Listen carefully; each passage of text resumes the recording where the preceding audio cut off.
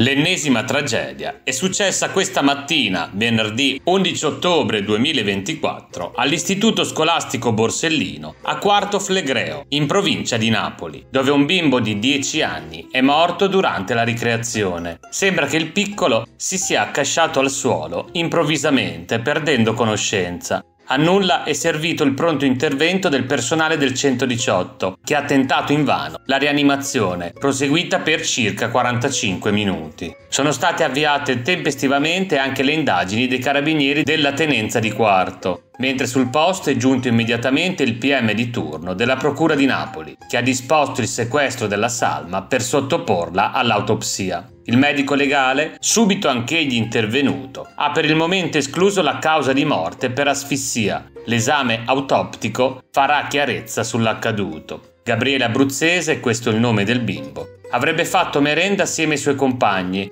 ma subito dopo ha iniziato a perdere sangue dalla bocca ed è svenuto. I genitori, allertati dalla scuola, sono giunti immediatamente e hanno assistito alla scena straziante della rianimazione. I compagni e il personale scolastico sono sotto shock. Ancora una tragedia, ancora un malore improvviso per un bambino. Ma quando mai è successo con questa frequenza? Quando mai? Vogliamo andare in fondo alla questione, vogliamo indagare, aspettiamo l'esito dell'autopsia. Sentite condoglianze e un forte abbraccio alla famiglia da parte del salotto di Mimar. Voi che idea vi siete fatti di tutto questo? Fatemelo sapere in un commento e se ancora non l'avete fatto iscrivetevi al canale.